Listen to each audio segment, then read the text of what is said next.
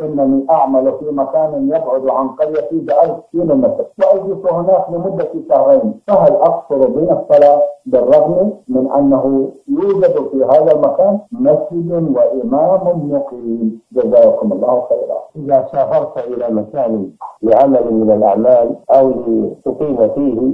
إقامة تزيد على أربعة أيام فإنه يلزمك إتمام الصلاة، يلزمك إتمام الصلاة لأنك لما نويت الإقامة التي تزيد على أربعة أيام فقد انقطعت أحكام السفر في حقك وصار لك حكم المقيمين فيلزمك إسلام الصلوات ويلزمك صيام رمضان وتكون كحالة المقيمين تماما لأن أحكام السفر انقطعت بنية الإقامة التي تزيد على أربعة أيام هذا مذهب جمهور أهل العلم نعم. جزاكم الله خيرا